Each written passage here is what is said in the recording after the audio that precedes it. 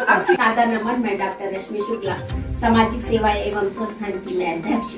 हम सभी जानते हैं कि अब नवरात्र आने वाले हैं और नवरात्र में सभी मातृशक्ति को, सभी कन्याओं को हम शुभ शुभकामनाएँ देते हैं। और हम लोग थोड़े से संकल्प लेते हैं हमारा है कि हम जो पूजा करते हैं नव हम लोग नव दुर्गा की तो कलश की स्थापना करा, करते हैं उनकी सामग्री करते हैं तो उस समय तो हम लोग घरों में बड़ा उनको मान सम्मान सब देते हैं। और जब नौ दिन बीत जाते हैं तो उसी सामान को हम लोग कभी तालाब में फेंक देते हैं, कभी गंगा जी में फेंक देते हैं, जिससे उन पैरों में लगता है, वो सब पूजा सामग्री की बड़ी दुर्दशा होती है, हम सभी जानते हैं। आप सब लोगों से निवेदन है कि पूजा सामग्री को या तो हम गमले में रखें, सबसे पहले मिट्टी का एक लेयर लगाएँ, उसके ऊपर पूजा सामग्री रखें, फिर एक मिट्टी का लेयर लगाकर पर्दे लगाकर एक छोटा सा कोई पौधा लगा दे तो जिससे वो हमारा हरियाली भी होगी और एक स्मृति भी होगी देवी माँ की। और दूसरा हमारा ये है कि अगर हमारे पास थोड़े से ज़मीन है कहीं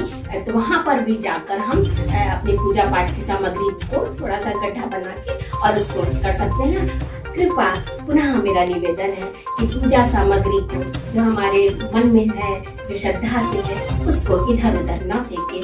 उम्मीद है हमारा संकल्प आप तक पहुँचेगा। और इसका आपको पालन करने का प्रयास करेंगे। धन्यवाद मैं डॉक्टर रश्मि शुक्ला से। हमारे साथ और भी हैं हम लोग तो जानते हैं नौ देविया नौ कन्याएँ हमारे पास हैं। अपने अपने विचार आपको बताएँगे और सबका सुनने का ये मेरा सौभाग्य है कि नवरात्र में नौ देवियाँ हम लोग के पास है। तो सभी देवियों के अपने अपने विचार हैं अपने अपने संकल्प हैं जो आप तक पहुँचाना चाहते हैं कृपया उनका पालन करेगा मैंने हम